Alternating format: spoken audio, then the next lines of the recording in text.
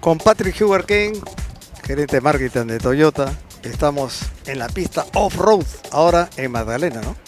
Así es, hemos querido acercar esta experiencia que vivimos durante el verano en Asia para todos aquellos que no tienen oportunidad de ir hasta el kilómetro 100 o que no, no veranean por allá y ponerlo al borde de la ciudad, frente al mar, en un lugar que, que- en el que hemos encontrado, sí, hemos encontrado las condiciones perfectas, es súper accesible, eh, tenemos el espacio suficiente para, para repetir la experiencia que, que vivimos durante el verano. ¿no?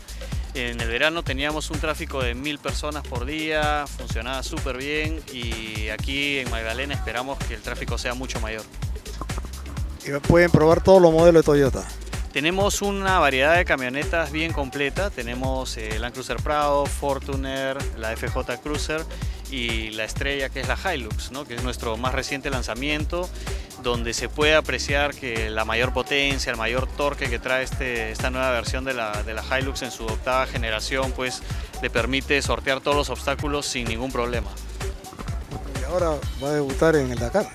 Así es, tenemos, este, hemos podido eh, conversar y llegar a un acuerdo con, con padre e hijo Ferran para que representen a la marca y al, y al Perú en el, en el Dakar. Desafortunadamente ya no parte desde aquí, pero siempre hay pilotos que son amigos de la marca y en esta oportunidad ellos comenzaron corriendo Dakar con Toyota y ahora están volviendo a su marca originaria este, a probar la nueva Hilux en, en una prueba tan exigente como es el Dakar. ¿no? Bueno, y ahora estamos con los protagonistas integrantes del nuevo equipo Toyota para el Dakar. O sea, vuelves a tu marca. Volvemos a Toyota con la que hicimos los dos primeros Dakares, el 10 y el 11, una FJ, cuando no sabíamos a dónde estábamos yendo, estábamos yendo a la, cueva, así. Pero nos fue muy bien, o sea, sorprendente, nunca pasó nada, nunca se malogró nada, extraordinario vehículo. Eh, de ahí decidimos irnos por diésel, así es que cambiamos un momento ahora que Toyota tiene un super vehículo, estamos regresando a Toyota, que creo que es la mejor camioneta del mercado. Y además, la mejor para hacer un Dakar, porque no necesariamente va a ser la misma camioneta, puede ser la mejor para un mercado diario que para ir a un Dakar, pero esta yo creo que combina las dos cosas, al punto que ahora mi camioneta de uso diario es una Toyota Hilux también. Realmente la Hilux, esta nueva que ha venido, esta nueva generación, esta octava generación, está supersónica, ¿no?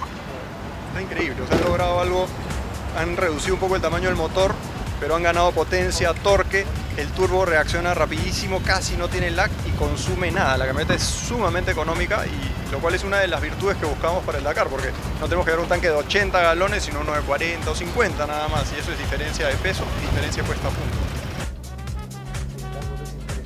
Sí. Y el ángulo de ataque y de salida de la camioneta, mira, no tocamos nada, la camioneta ahí salió, o sea, en cualquier otro carro hubiésemos dejado el parachoque. Estamos aquí de jueves a domingo, eh, los días jueves y viernes de 6 a 10 de la noche y los sábados y domingos de 3 de la tarde a 10 de la noche. Simplemente pueden comprar las entradas en Teleticket o eh, aquí mismo en la boletería del, lugar. Eh, esto se encuentra en la explanada de Magdalena, es este espacio que, se le ha ganado al mar en la Costa Verde. Eh, simplemente llegan, la entrada es 10 soles, es una entrada casi simbólica y es un evento para que pueda participar toda la familia. Así que los esperamos, bienvenidos. Aquí estamos, pueden subirse a todas las camionetas, todas las veces que quieran, hacen su, su colita, sacan su ticket y empiezan a disfrutar. De eso se trata. No se lo pueden perder, ¿ah? Gracias, Patrick. No, gracias a ustedes y los esperamos para que nos acompañen. Bienvenidos.